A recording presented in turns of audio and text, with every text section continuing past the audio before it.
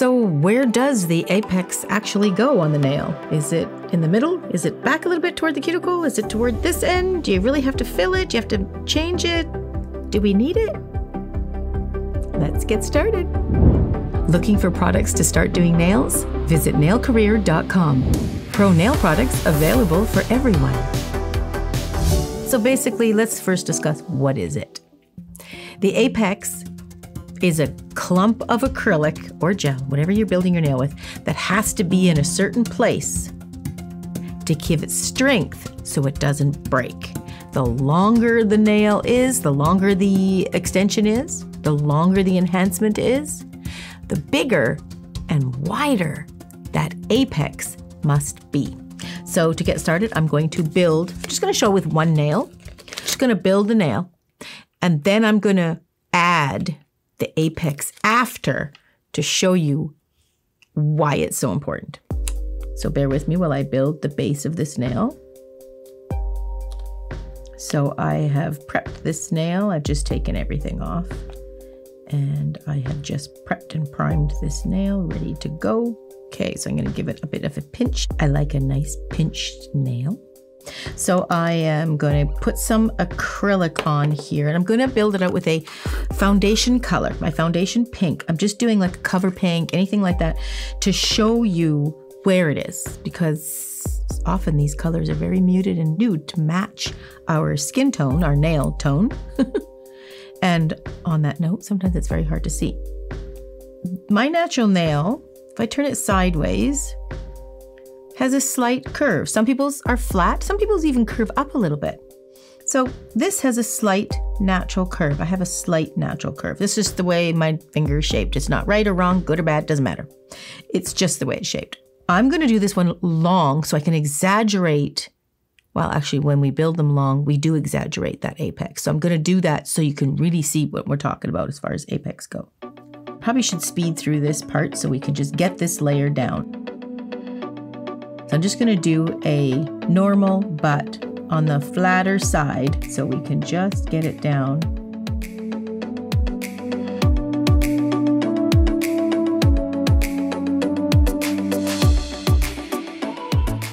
So I'm going to build the free edge part as the thickness that it should be.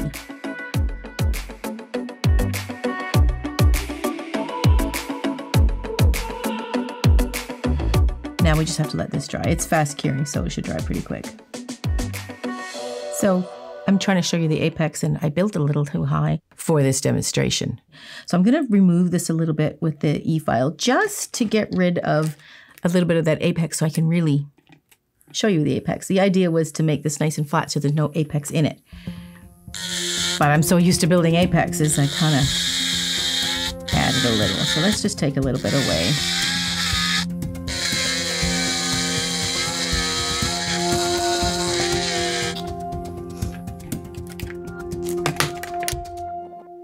Okay, just take away that apex in there. I just want to keep that nice and no apex. Okay, so see if I turn it sideways, that's a pretty long nail for not much apex on there.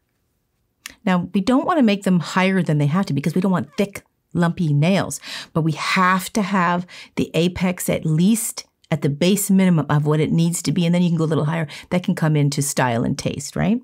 So let me do it in a different color. I'm going to add the apex in a white color so you can really see where it's going. And I'm going to actually keep the pink available because I'm going to show you where the apex will go for this length of nail. So quite frankly, when you're looking at the nail from the upper camera, from this angle, this could be super thick and ugly, or it could be really, really thin. You wouldn't really know if the apex is correct by looking down on it like that. But as soon as you turn it sideways, that gives you the information that you need. So we are going to add the apex. And I'm going to put the apex right there. That's where we want the apex to start.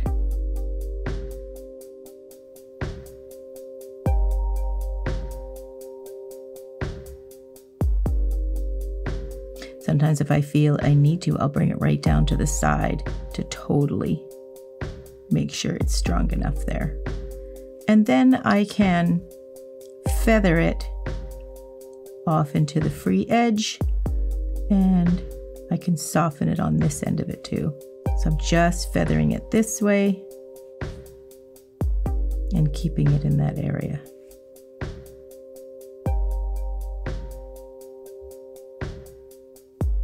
Now that is adding some apex to it. But I do need a bit more in here because this nail is longer. If this nail was about here or even here, we could leave that apex like that. But because this nail is longer, I need a longer, wider apex.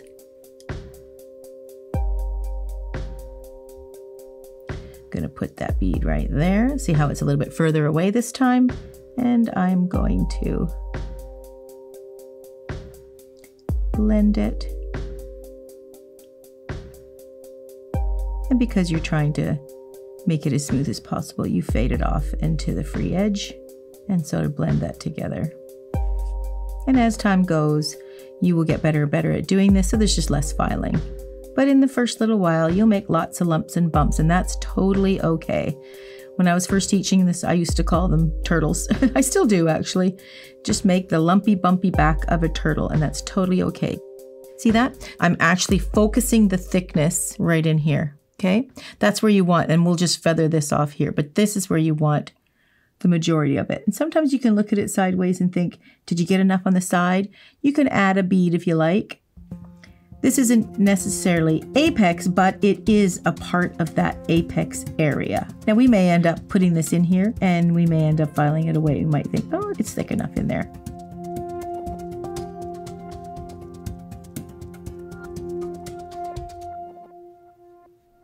Okay.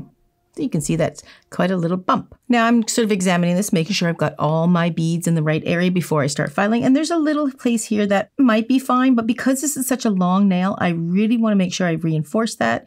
So I'm going to catch that now before I decide it's just too thin. So I'm placing a bead right there. That's at the stress point where the apex meets the free edge when it's still attached to the natural nail plate. That's the most common spot for breakage. So that's why I'm always really aware of that one spot. And if I'm going to add anything in there, that'll be the spot I'll do it just to reinforce that. We'll see how much we file away. Now, I did exaggerate that bump a little bit so you can really, really see it, right? So that essentially is the apex. The apex is right in this situation here, right in this area here. You could look at these nails that I've already done. I've got, I extended the nail bed a little bit and then I started the French around here. Well, the apex is actually here. It kind of starts around here and it ends over here because this is so long. So the apex is in this area here. And if this nail was longer, I would put the apex a little bit higher and I would extend it a little bit further, which is what's happening here. So if I extended this nail, let's, let's just do it. If I decided to extend this nail, I'm going to put a bead on the end just to have it that much longer. I'm just added a little bit on the end, so I'm just extending it a little bit.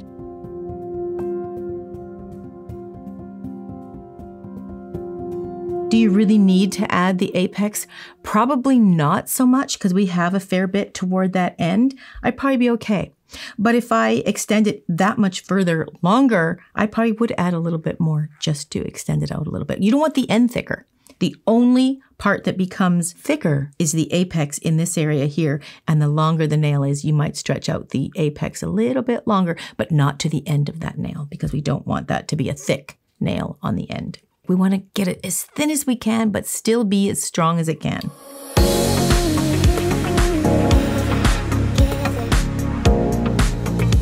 I'm going to ignore the white and the pink, just get that out of my mind and just shape it to exactly what I want.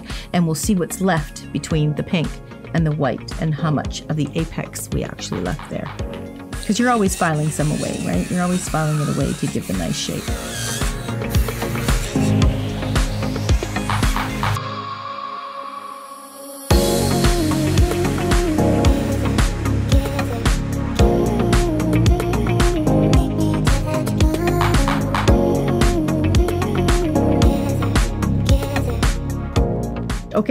So you can see exactly where I put the white. Now it looks like a fill. At first glance, you might just look at that and go, what is that? It looks like it needs a fill. That is the beginning of where the apex begins. That's where you want to start making it as it's climbing up the nail, making it a little bit thicker on all sides, not just the one little patch, but coming up from all sides uh, in that one area. And then you can see it's overflowing over top of here and it's thickest white in here. And then it fades along here. And even though I extended it with the pink, you can see that the white did not reach the end. In fact, it's faded off. It's almost like an ombre. It's just fading off into that pink because it's very thin there. I didn't need much of it there at all. Turn it sideways. Okay, so the white you can see is just focused on the apex area right here. It's strongest and focused right in here. I'm going to flip it over and look at that pinch. That's a serious pinch. I really went pinchy on that and coffin. So just turn it sideways. Now, again, it might be hard to tell, but let me put some gel polish on that. I'll be able to tell exactly if it's smooth or not. This will help us understand if this is smooth or not.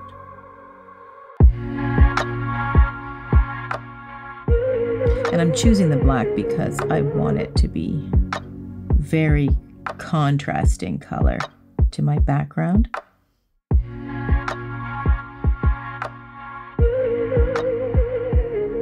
Going to show before and after pictures so we can really see if this is smooth or not, okay? Let's take a look at those pictures.